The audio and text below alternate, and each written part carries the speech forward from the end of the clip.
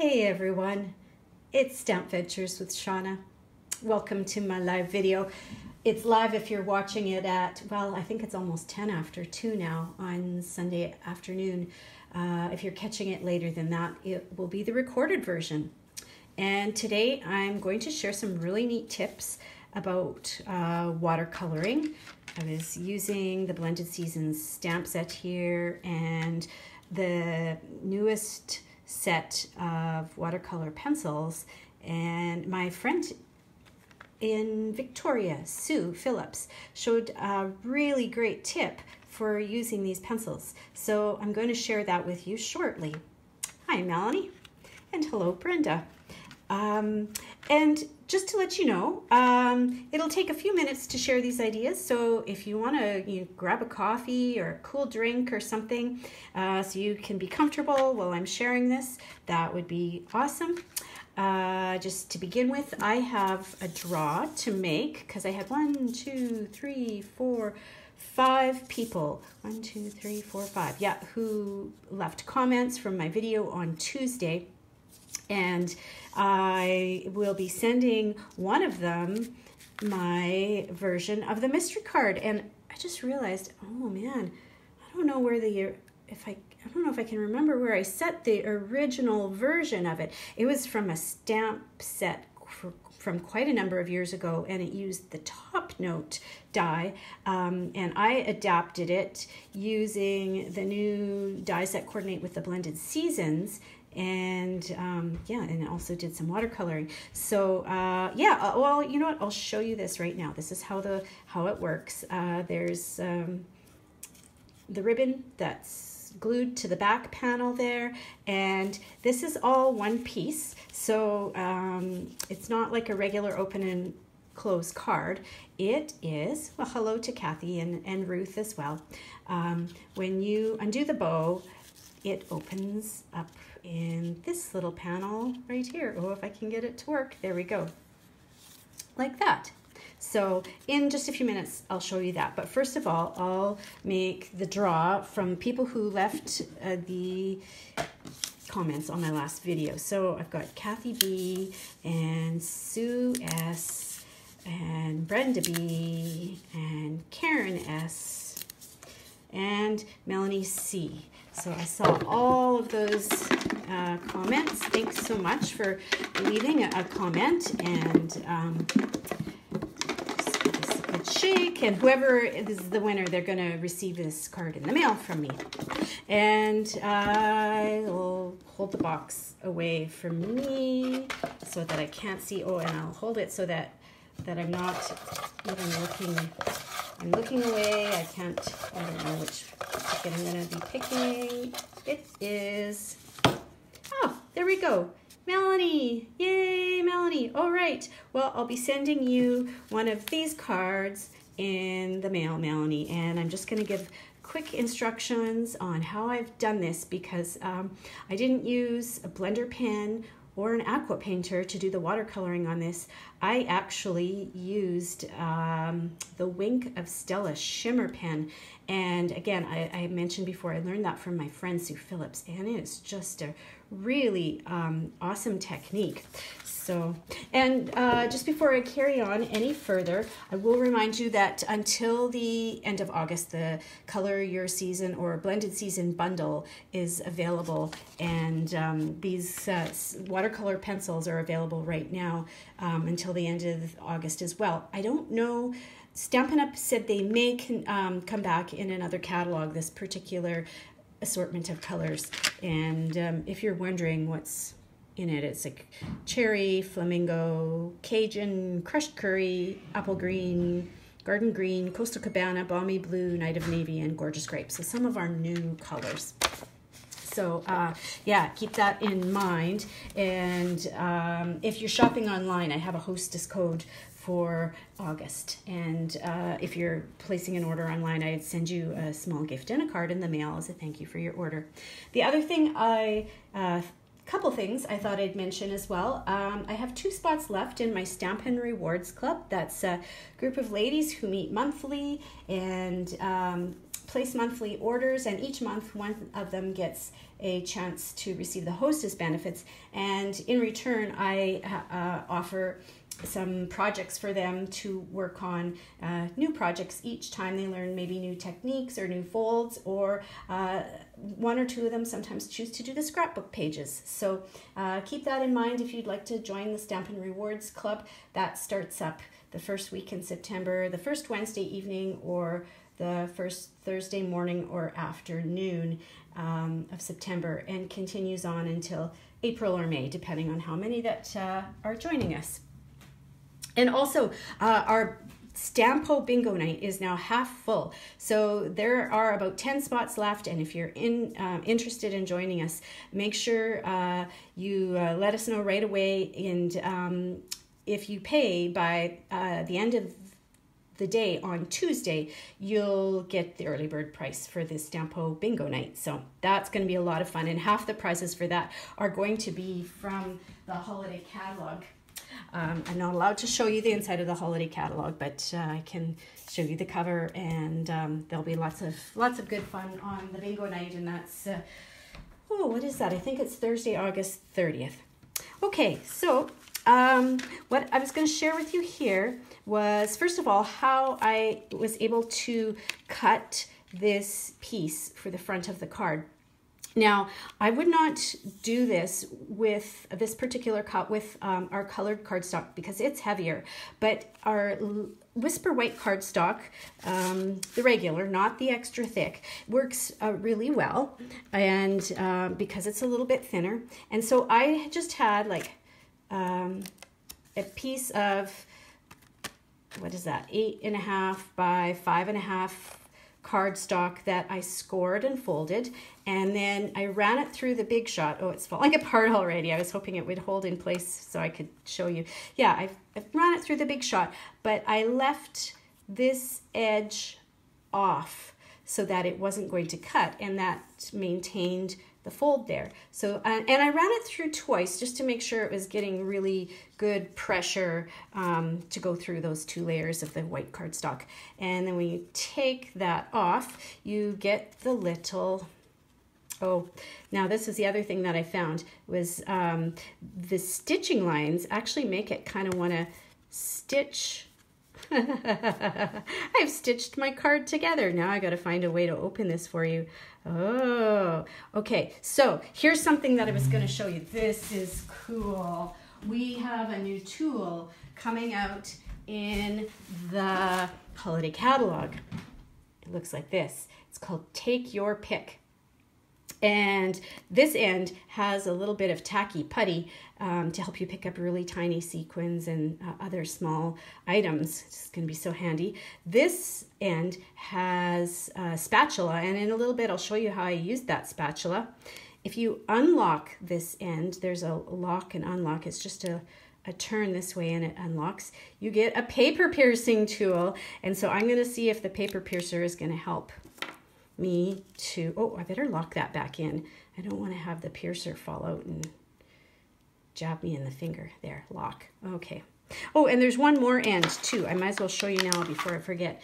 The other end is a double-ended stylus, a wider and a narrower. So um, that's going to be, uh, yeah, th this is just the greatest tool. And um, 13.50, so a really great price point. Oh, and I should mention, you get uh, a refill for the putty end as well. Um, here's my original packaging. See, you get two of these.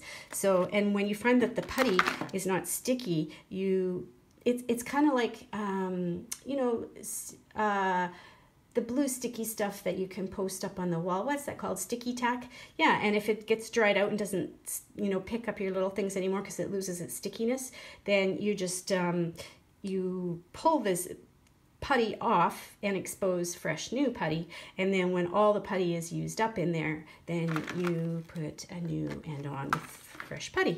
Okay, so let's see if I can do, I should, I should be having my niece to do this. She's a doctor. Um, she's in her, uh, in her, uh, started her year of residency here in Moose Jaw. Oh, that's not good. Okay, this opened up much more, much more easily for me when I did this before. Okay, let's see if I can get these two layers apart. There we go. Oh, well, once it got started, that was easy. But that, there we go, ta-da. The pick, take your pick tool to the rescue. So, okay, there we go. That's how I made this open and shut part. And again, just remember to use white cardstock and not any of the thicker, heavier. So, um, and now the suggestions for the watercoloring, unfortunately, you're not going to be able to see that from your angle. Um, and But what I did for doing the watercoloring was using my Wink of Stella shimmer brush. And um, I'm just going to grab a black ink. See if I can find one here. There we go it's going to be easier for you to see if I just use black ink. For um, this card here, I used silver embossing powder, and for this one here, I used white embossing powder. And But just for keeping this short and simple, I'm going to stamp the flowers in black. So here we go, inking up the flowers from the blended seasons. This is this is Memento ink. StazOn would work too, um, but I just had Memento on hand. And what I liked about this is once you had cut this side straight here, um, the flowers just kind of sat right, right down along the, the straight line there. And they fit really lovely, uh, really, really well into this lovely framelit. And um, this is the largest framelit that's in the package with the blended season. So yeah, the flowers just fit very nicely into that shape. And I'll just give this a couple seconds to get good and dry. Um, so for this particular um, color combination, I used two colors for the flowers. I used Balmy Blue and Gorgeous Grape. I think I've got those. Yeah, that's Gorgeous Grape there. And this is Balmy Blue. It's the light blue that coordinates with this cardstock here. And the um, embossing folder that I used at the back is quite lovely. It's one of my new favorites. It's called the Tufted embossing folder. Um, yeah, it's it's, it makes really elegant and pretty cards. So what I did for the coloring is I, I went in and I did a light, but very quickly, a, a light background of balmy blue. Um, I didn't spend too much time on it and um, yeah, I didn't get it, you know, perfectly into the corners or anything. Your tool that you're blending with that you're painting and watercoloring with is going to get it more into the air those um, smaller areas. But just just a quick overall um, background of blue. And then I took the gorgeous grape and I went in towards the bottom and just did some coloring that way in in closer to the center of the flower where the color would naturally be deeper.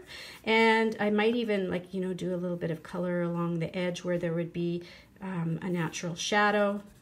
Um, I won't won't color all three of the flowers but that's that's basically what I did.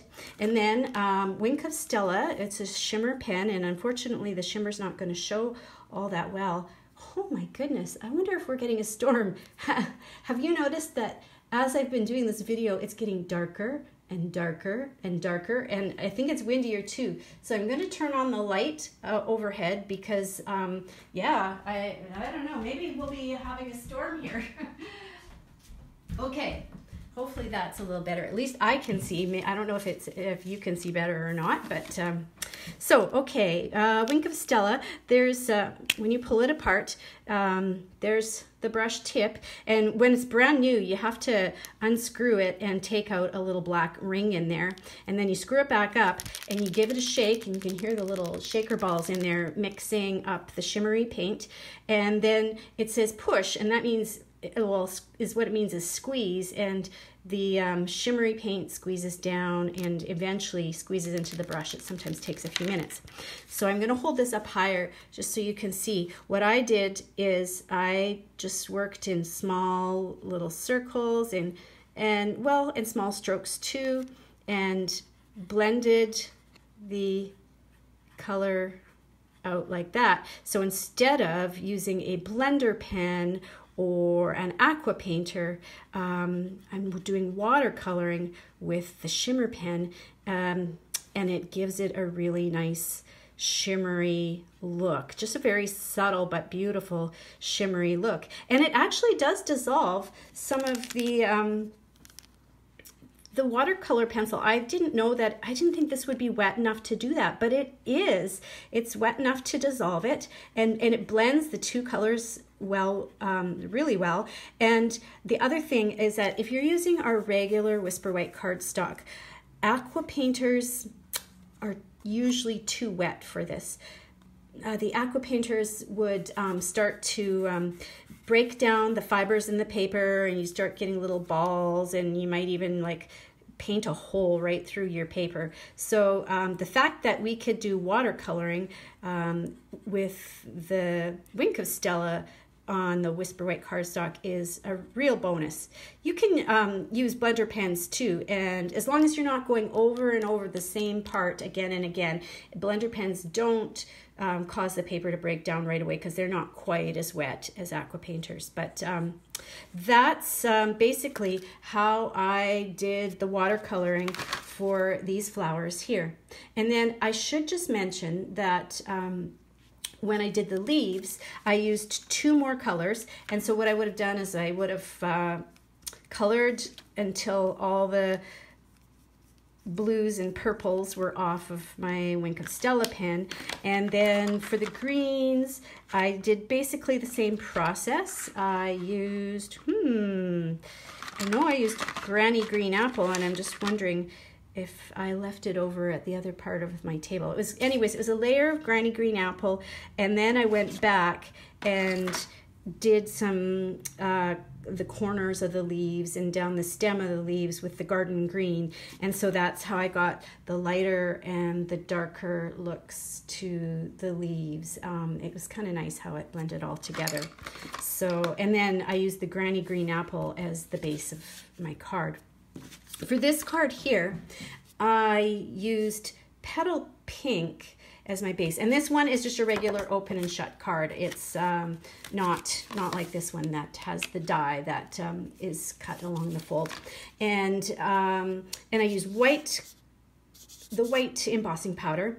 And then I used the Flirty Flamingo, which is just like a deeper shade of the Petal Pink because the Petal Pink is a little bit salmon colored. And so the Flirty Flamingo, well, it looks very purpley here, but the Flirty Flamingo is, well, you know, it's like, it's a flamingo color. So it's kind of got a, a salmony it's a warm pink. And so I would have done the same thing. I would have just colored a little bit in those areas uh, at the base of the petals and then again used the wink of Stella. And I wish I was just hoping that maybe I'd be able to catch a little bit of that glimmer um, with the light on now, but it's not really showing, but it's it's very pretty. And so this one you even have to do less coloring because the cardstock itself is already colored. So you just have to do a little bit of, um, yeah, add a little bit of shading just there in the base and then blend it out and you get that nice soft and dark tones.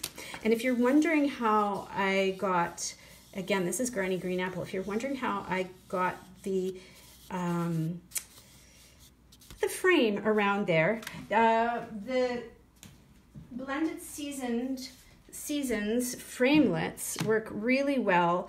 Um, you just cut the two framelits and run them through the die um, or through the Big Shot at the same time, and then you'll get um, a frame. And the neat thing is that with this frame, you're going to have the stitching on the outside as well as the stitching on the inside. Um, that's the neat thing about these framelits is they've got stitching outer and inner edge and then the cut, the cutting edge there in the middle. So running them through together makes a really neat frame that way. Oh, and you can see I used the tufted embossing folder again there and some of our polka dot ribbon. Um, so that was that was a fun card to do. And I'm just going to show you um, some tips. If you've got a Stamparatus, um, I found the Stamparatus really, really helpful for doing this Christmas card. This was one of the cards from my Christmas in July. Oh, I better put the end on to my spatula. Okay, turn this around. Spatula is at the other end. If you just joined me, this is the new Take Your Pick tool. It'll be coming out in the holiday catalog. Um, so here is my Stamparatus. And I think this is the middle sized of the dies that I used here, of the sort of the label shape. And I created a template just with a regular piece of paper. And um, I know now when I cut this piece out and I set it in the middle of this template always stays. I don't change it. I always use the same one and it's always up into this corner here. I know now when I set this right into here because I've done, um, you know, got some scrap papers and done all the lineup. All I need to do is ink up the Merry Christmas and I know that's going to hit right in the middle where I would like it to that might have already had cherry on it and I just put black on it now so we make it an interesting color. Oh no, it looks pretty black to me. And then this is really cool. So there are these bows and I wanted, when the people came to the class, I wanted them to be really successful and hit hit it, you know, not too far off, but not too far down that it would get in the way of the um, the words. So again, I got it all lined up with my particular frame that I created for it. And like I said, this has always stayed in here for the whole class and people just came and put their cutout label piece in there. And well, we would have uh, used um, Versamark because there's gold embossing on the the Christmas leaves there. But just again to show you for the video, I'm just going to use black so you can see how this works. Um, we inked that up and oh, and if you can't get your plate to um, go down as easily as you think it should, make sure when you're at the top that it's stuck firmly and straight into the into the hinges there. So um, because I'm close to the hinges, I'm gonna give a little extra push there. So hopefully, yay, yeah, there we go. Got the leaves all lined up at that end. So then I'm gonna take and flip my label, my piece that I've cut out. I'm gonna make sure it's back. Everything's doing, you know, up and matched up into the corner again. Always do that left, uh, that corner matchup. I always work with my Stamparatus, I guess it's sideways because look at, see there's the logo for Stampin' Up and I've got it, yeah. It's, uh, but I kind of, I like to do like left to right, like a book and top to bottom, but you can, you can move your Stamparatus around in whichever way that you find um, is comfortable for you and, and makes sense. So that's the neat thing about it. Oh, okay, I got black there, but hopefully that won't transfer because, oh, okay, make sure it's in. There we go. Um, I'm not going to be pushing there anyways, pushing up close to the... All right, so there we go. That's how I got the top and the bottom of my Christmas card to um, match up so nicely and fit right into uh, the die that had been already cut out. I love this, using a template and um, the Stamparatus and getting things right in place where you want them.